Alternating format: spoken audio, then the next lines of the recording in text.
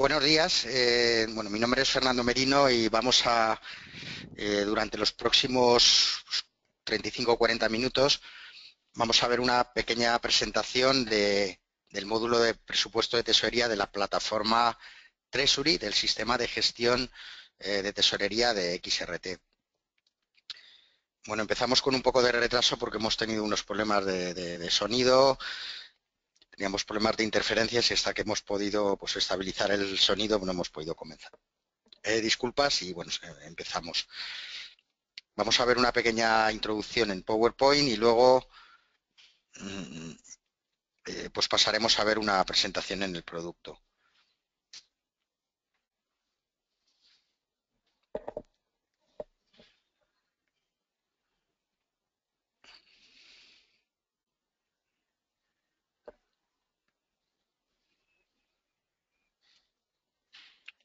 Los objetivos del presupuesto de tesorería principalmente son dar visibilidad de la liquidez a medio y largo plazo de la empresa,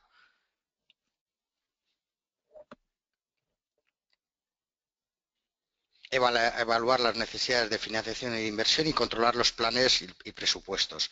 Básicamente es el impacto que tiene en la tesorería de la empresa, es el presupuesto general y eh, garantizar la viabilidad en cuanto a flujos de caja del cumplimiento de ese presupuesto general, de los gastos y lo de los ingresos que se van a realizar en el periodo.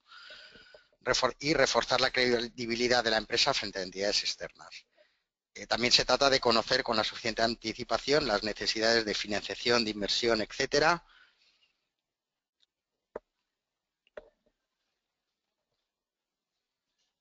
y explorar las distintas opciones de financiación de inversión así como anticipar la evolución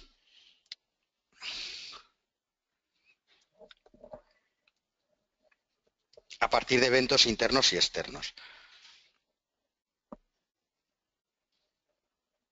Por otra parte, el, poder tener una, visibilidad del cumplimiento de los presupuestos a partir de los, a partir de los flujos de caja que se van realizando y la información que llega como, como realizado al presupuesto de tesorería. las características principales del módulo es, por una parte, poder obtener el presupuesto de tesorería a partir del presupuesto económico, la aplicación de las reglas de paso para poder eh, obtener la fecha de cobro y de pago del cálculo de la liquidación del IVA a partir de los movimientos de, de compras y de, ventas, de ingresos.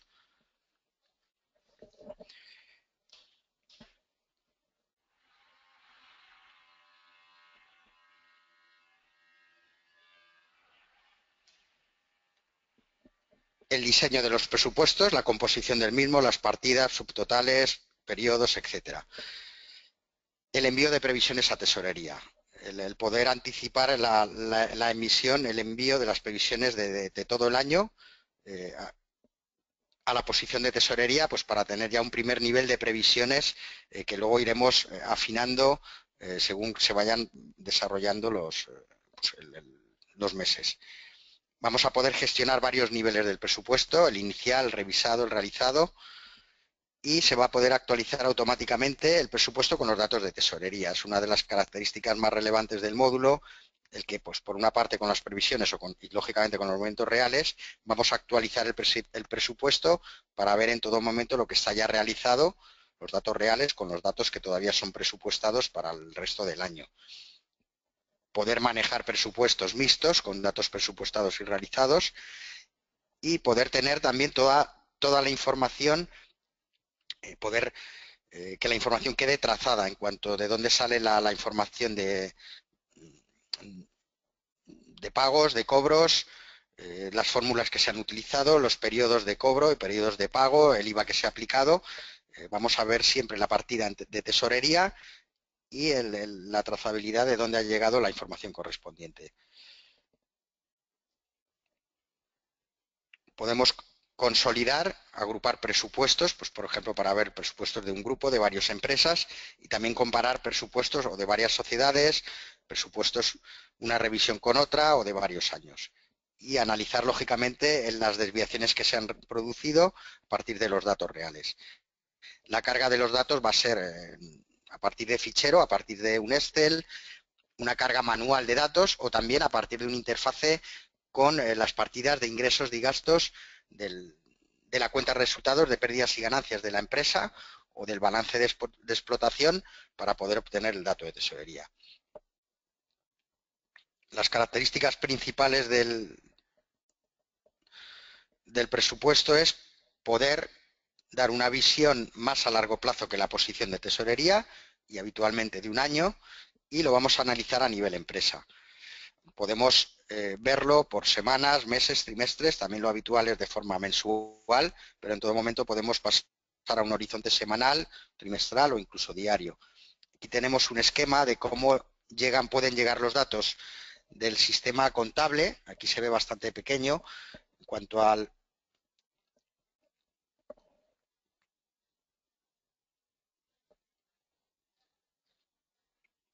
datos del presupuesto económico, cómo se aplican las fórmulas para obtener el presupuesto de tesorería y cómo luego llega la información del banco que es tratada, aquí tenemos la imagen de la ficha en valor, se trata en tesorería y actualiza a partir de la información de la partida presupuestaria el presupuesto de tesorería realizado para poder ver las desviaciones. Eh, aquí en, este, en, el, en el punto 2 se ve muy pequeño, aquí tenemos el detalle agrandado de cómo a partir de diferentes magnitudes podemos obtener el flujo de tesorería. Eh, habrá otras partidas que no lleguen del presupuesto económico y que sean simplemente pues, entradas manuales, pues, como pueden ser inversiones, financiaciones, las amortizaciones previstas de préstamos que tengamos y que tengan pues, una cadencia, una periodicidad mensual, trimestral y pueden ser flujos de caja muy relevantes. Eh, otras puede haber ampliaciones de capital, bueno, otro tipo de eventos que no lleguen a partir de los datos del, presupuesto económico y se podrán introducir bien a través de un fichero o también de una entrada manual en, en las partidas. La gestión de revisiones, los niveles de presupuesto que vamos a tomar y como hemos ido comentando, la posibilidad de tener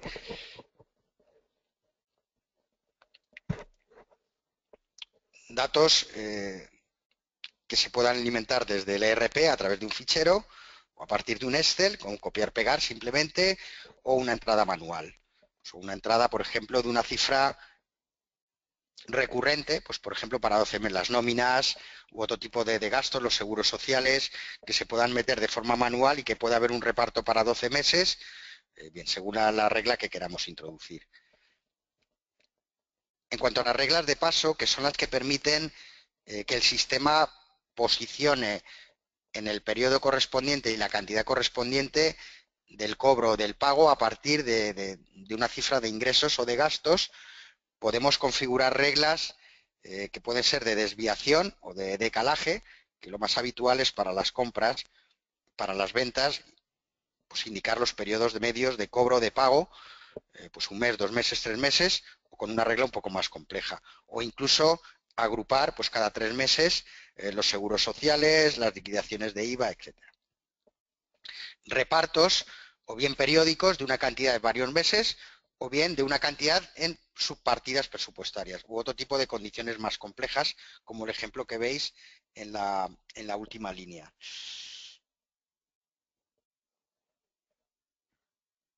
Bien, otra serie de características que algunas de ellas ya hemos comentado. Os vamos a pasar la presentación y podéis ver el detalle. Bien, cómo podemos recuperar, por ejemplo, las decisiones financieras del módulo de tesorería en cuanto a cuotas de amortización del módulo de tesorería y de deuda, los flujos previstos para la amortización de préstamos o si tenemos inversiones para el vencimiento de las inversiones.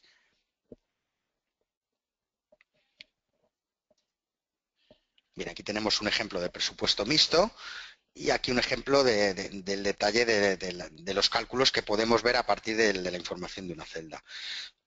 Vamos a verlo ya en el, producto. Vamos a ver una demostración del, funcionamiento del módulo. Voy a cerrar la presentación.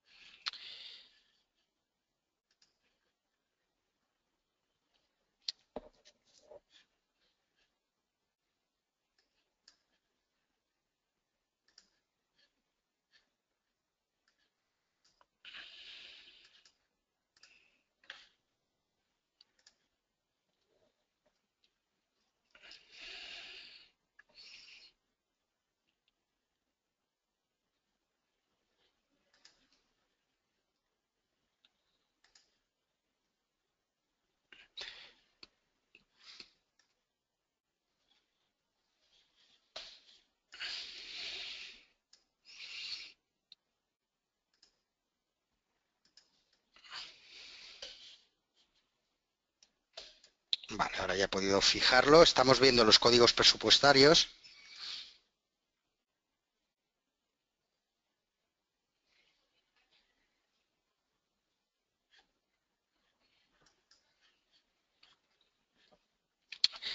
tal y como los hemos definido en el módulo de tesorería, es posible que algunos de vosotros trabajéis con códigos presupuestarios eh, que es opcional, no es obligatorio, aparte del flujo de tesorería, el código presupuestario, y podemos trabajar con partidas presupuestarias sin necesidad de, llevar los datos a presupuesto. Pero si estamos gestionando realmente el presupuesto de tesorería, sí que es imprescindible tener este detalle de partidas presupuestarias. Bueno, aquí hay unas cuantas, quizás más de las que habitualmente se necesitarían para un presupuesto. Las vamos a ver ahora mejor en el diseño del, propio presupuesto. Pero bueno, podéis ver que se clasifican en pagos y cobros corrientes o de explotación, en los derivados de decisiones o de fuera de explotación y de financiación de inversión, por tenerlos categorizados. A la hora de diseñar el presupuesto de tesorería, eh, lo vamos a ver, podemos crear subtotales, cosa que en otros eh, informes o vistas del programa, como por ejemplo la ficha en valor, eh, no, se puede. Podemos crear eh, diferentes niveles de totalización y, y, localizar cada partida del presupuesto en la rúbrica que queramos, en cobros de explotación, pagos de explotación, etc.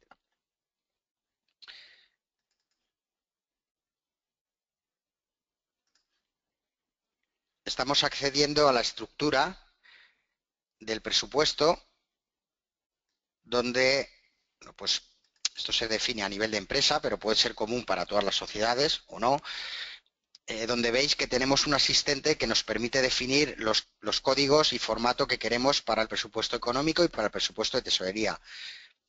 Eh, por una parte, en la parte izquierda están todos aquellos disponibles. Yo aquí tengo algunos que no, no he utilizado para el presupuesto y en la parte derecha pues ya estamos indicando cómo queremos ver el presupuesto y cada partida donde la queremos agrupar.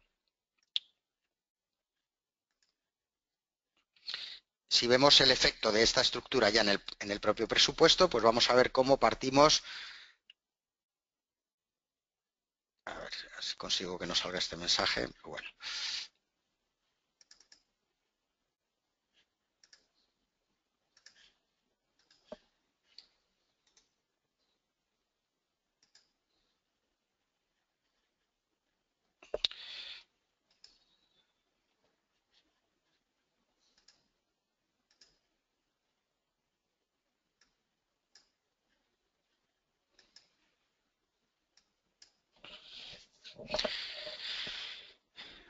Partimos de un presupuesto económico que tenemos en la parte superior, agrandamos, veis cómo tenemos, se refleja el diseño o la estructura que hemos definido en la parte superior, perdón, en la, en la función precedente.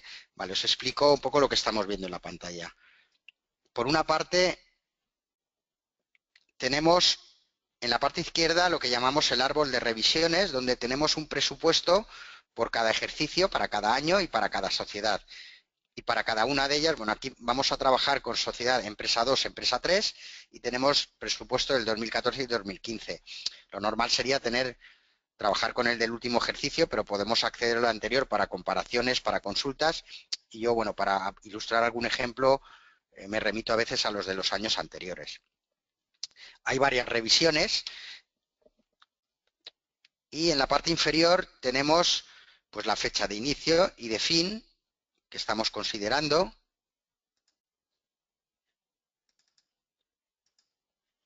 que queremos ver.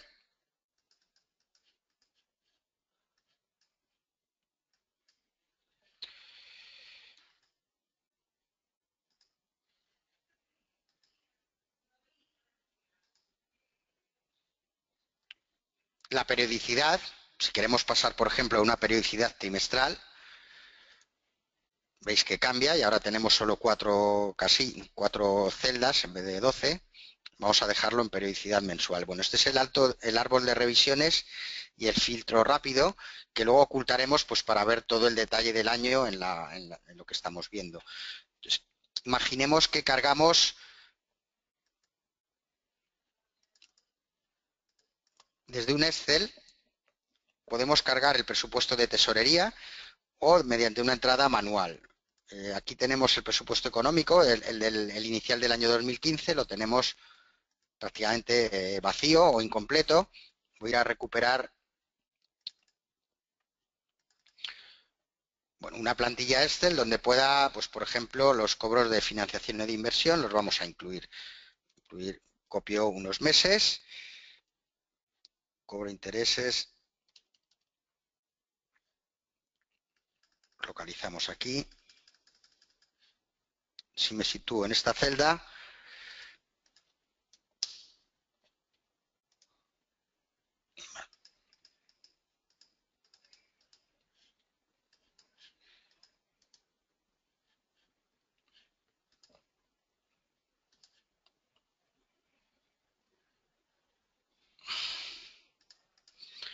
Vale, pues he puesto tenía forzada la revisión para no poder copiar y pegar, ahora ya sí. En principio, pues podemos directamente copiar y pegar los valores que hemos introducido y el sistema recalcula, aparte de que actualiza el presupuesto económico, recalcula el presupuesto de tesorería a partir de los valores que hemos incluido. Bien, aquí, por ejemplo, no hay ninguna regla aplicada y, por tanto, introduce los mismos valores.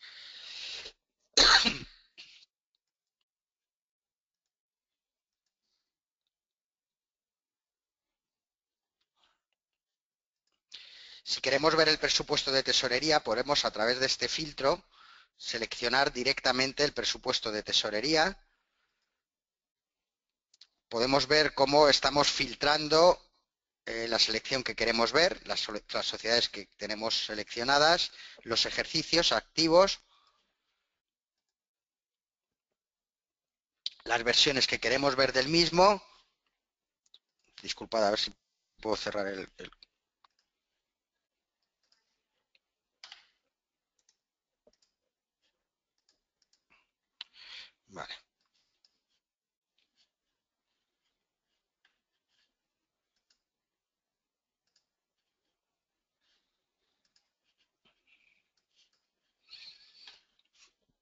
Si queremos la hoja de presupuesto, las desviaciones que ahora veremos, si queremos el presupuesto inicial, el revisado y el modo de presentación.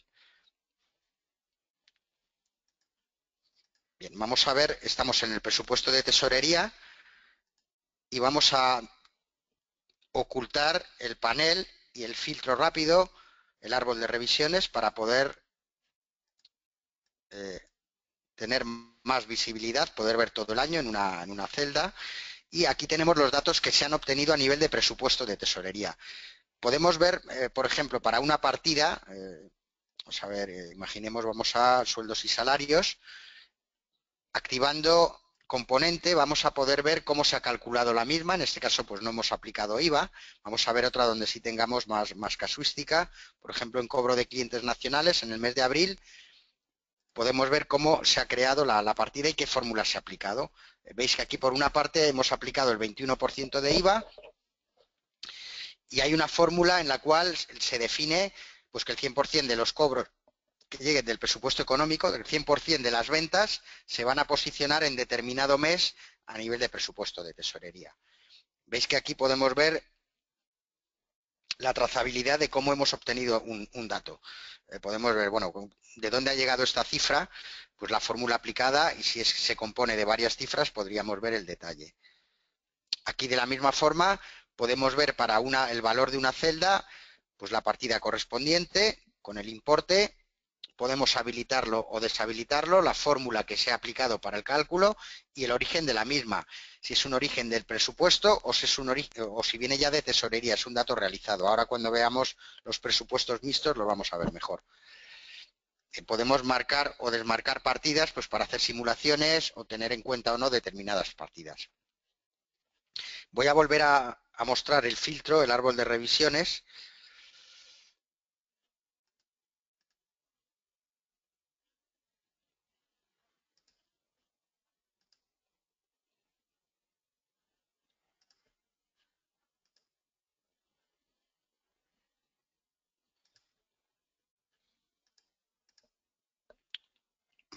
ya lo tenemos.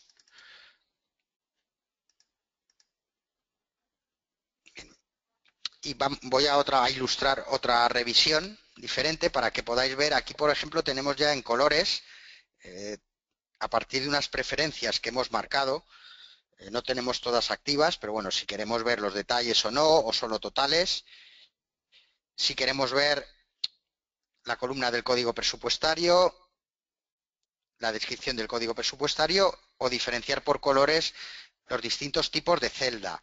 Si es un registro de presupuesto, si, es ya de tesorería, si es una desviación y si la desviación es negativa o positiva y si está por encima de un límite que hayamos fijado, que fijamos debajo, o la desviación nula, es decir, no hay desviación, poder diferenciarlo por diferentes colores Ahora, cuando veamos las desviaciones, pues veremos datos en rojo o datos en, digamos, en rosa, sin desviación o con desviación positiva. Y lo que vamos a ver ahora es si tenemos datos de presupuesto o datos de presupuesto y de tesorería y datos ya realizados con los diferentes colores.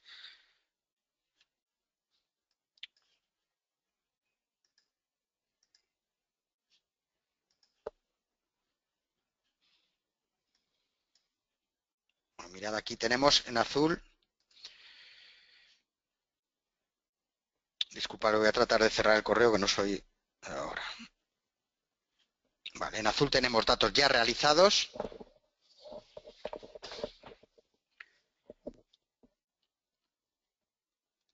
Es decir, a la hora de importar, aquí podemos ir, si vamos, por ejemplo, a la ficha de posición, a la ficha en valor,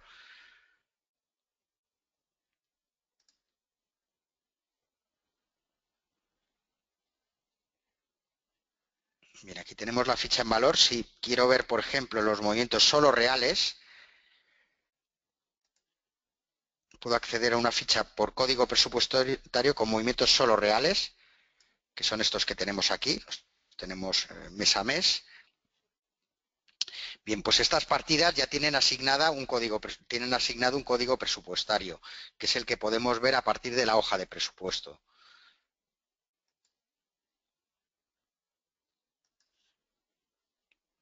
Volvemos a la hoja de presupuesto. que es donde estábamos, al presupuesto de tesorería.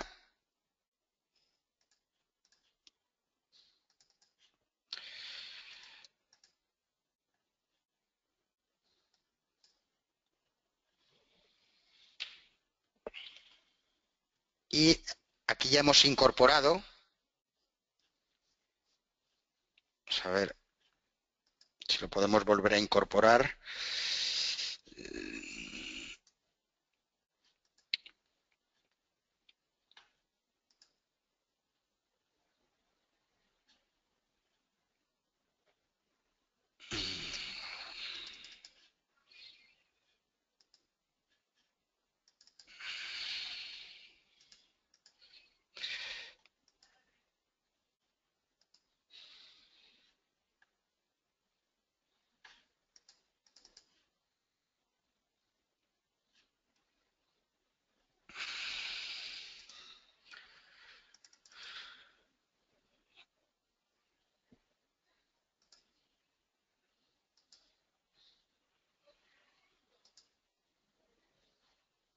Vamos a hacer ahora, voy a recalcular la revisión para poder volverlo a importar.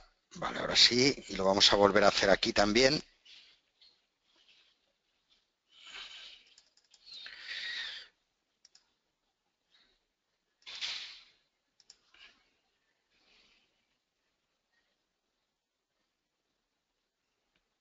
Vale.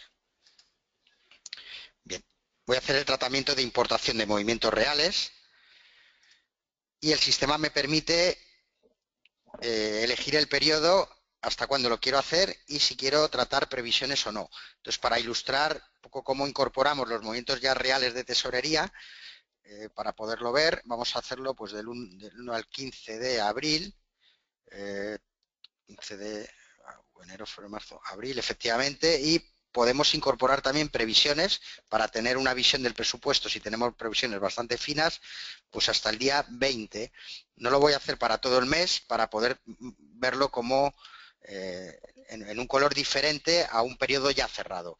si lo hacemos eh, hasta mitad de mes, por ejemplo, el sistema nos lo muestra con un color para poder ver la diferencia entre datos eh, mixtos, realizados y presupuestados y datos reales. Pues lo hacemos de esta forma. Vale, 16 del 4, ahora. Bien, el sistema ha hecho la incorporación, que realmente ya estaba hecha, pero un poco para que veáis cómo podemos manejarlo. Y tenemos datos realizados hasta el mes de marzo, datos mixtos en el mes de abril y datos presupuestados a partir de esa fecha. Aquí podemos ver con el detalle de los movimientos de la celda el dato original presupuestado, cómo ha sido reemplazado por los 234.000 de dato de tesorería, dato ya real, con su fecha correspondiente. Y a nivel de datos reales, pues aquí tendremos los datos reales que podrán ser uno o lógicamente serán muchos, porque aquí la información va a ir partida a partida para darnos un, total.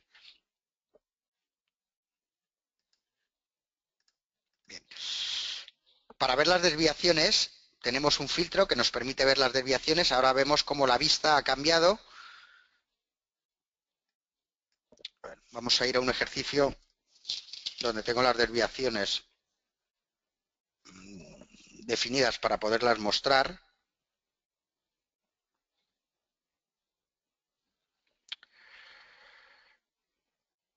vamos a revisión de la 2014.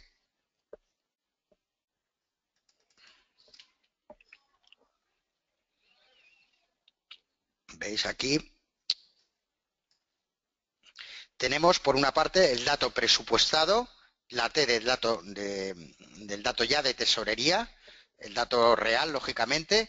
Eh, tenemos el, dato estimado para tesorería y el dato real. Aquí, por ejemplo, en cobro de clientes nacional, el sistema muestra una diferencia de 5. Eh, muestra, como veis, los colores que hemos indicado, diferencias positivas o cero en un color, diferencias negativas en otro. Y podemos llegar a ver el detalle de las partidas de tesorería, que bueno, del presupuesto también, pero que componen la desviación. En este caso, bueno, la cifra de 9.000 y pico, que son 10, podemos ir a verlas pues para el mes de abril, por ejemplo, en una que hay una desviación mayor.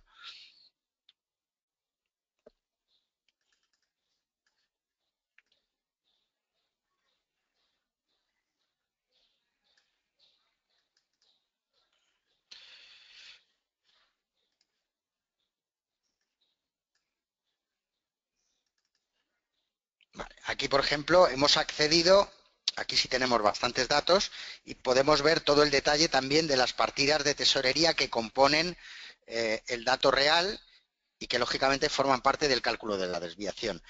A partir del informe de desviaciones podemos eh,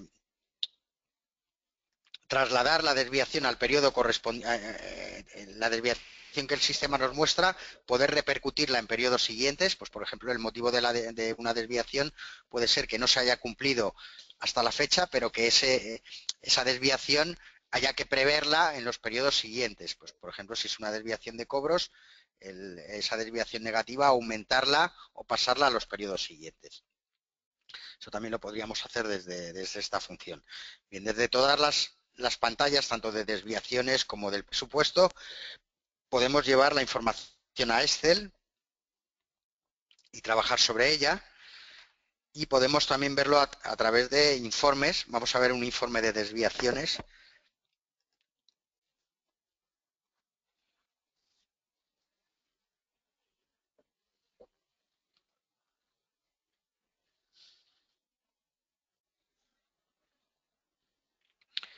Bueno, aquí lo tenemos en forma de, de report donde tenemos para cada año y organizado en columnas la partida presupuestaria, el dato presupuestado, la partida de, caja a nivel de tesorería que, habíamos presupuestado, el dato real realizado y la desviación correspondiente.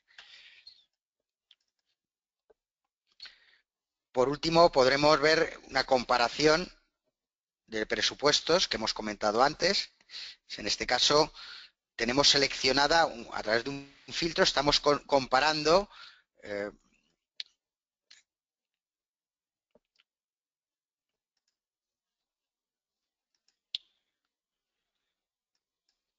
el presupuesto del año 2015 de, la sociedad 2, de la empresa 2, con ese mismo, con el presupuesto del año 2015 de la, de la sociedad 2, con una revisión diferente, revisiones diferentes. Aquí podemos ver, bueno, pues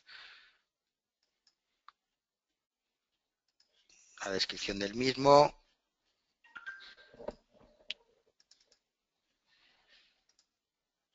vamos a seleccionar revisión 2 y revisión 3. Guardamos y el sistema nos vuelve a recuperar la, comparación del mismo y a partir de los datos pues muestra la, entidad a comparar una, que aquí lo tenemos en el filtro, el análisis que estamos haciendo, ejercicio 1 más 2, que es lo que estamos comparando. la revisión pues tenía este valor, por ejemplo 71, 76, que había una, una diferencia de X.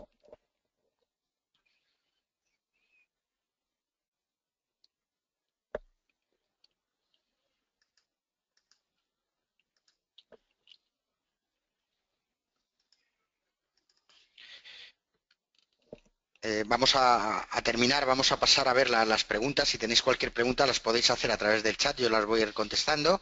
Simplemente eh, hay una función muy potente que no, no la hemos visto, pero hemos explicado en este PowerPoint pues las posibilidades que es el cómo el sistema actúa para poder generar un presupuesto de tesorería a partir de un presupuesto de ingresos y gastos.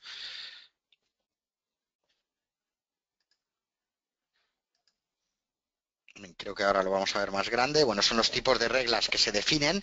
Aquí lo tenemos eh, simplemente descrito en texto y el sistema dispone de un asistente para poder gestionar estas reglas. Vamos a ver un ejemplo, antes lo hemos visto a nivel de cliente, vamos a ver alguna que tenga poco cierta complejidad para poderla ilustrar.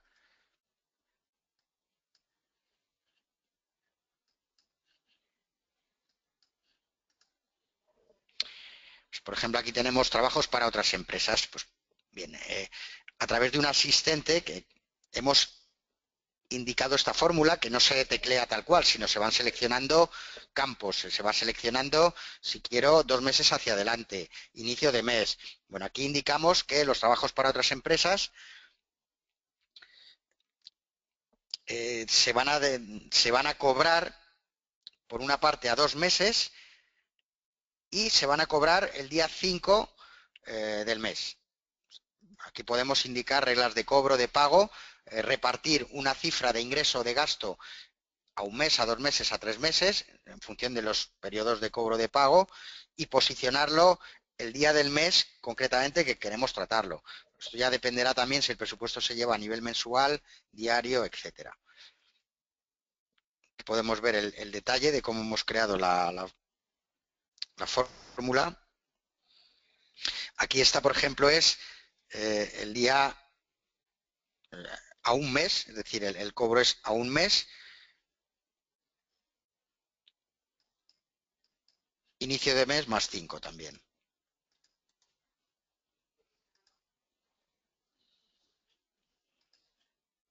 Ahora he conseguido entrar en el detalle. Aquí tenemos la fórmula que estamos viendo y hemos llegado a esta fórmula, lógicamente, a partir de un asistente, donde indicamos las características de, los campos. No veo bien los...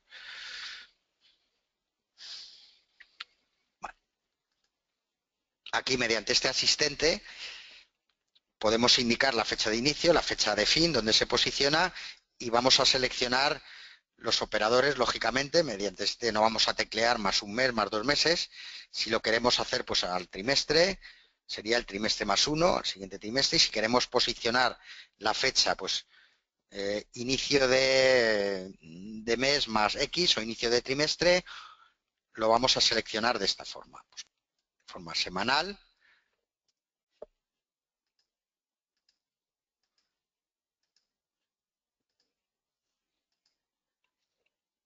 más dos o más las cifras que correspondan. El sistema verifica luego que la fórmula sea correcta, la sintaxis, pues para evitar errores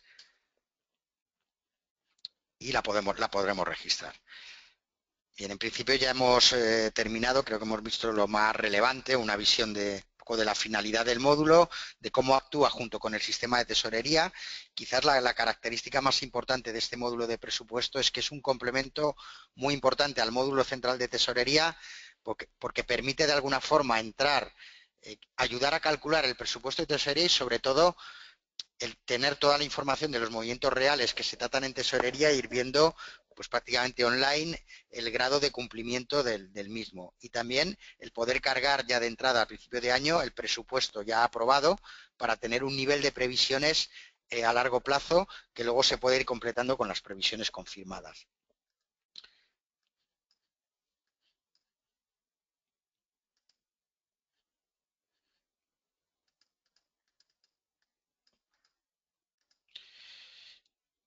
Eh, estoy accediendo a las preguntas. Un momento.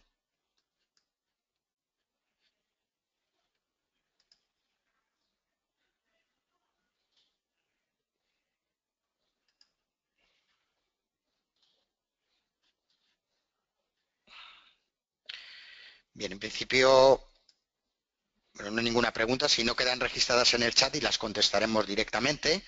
De acuerdo, bueno, pues por mi parte eh, nada más, os agradezco vuestra asistencia y sobre todo, bueno, disculpas por haber empezado pues este 10-15 minutos tarde por los problemas que hemos tenido. Bueno, pues nada más, os enviaremos la presentación y bueno, muchas gracias a todos por vuestra asistencia y buenos días.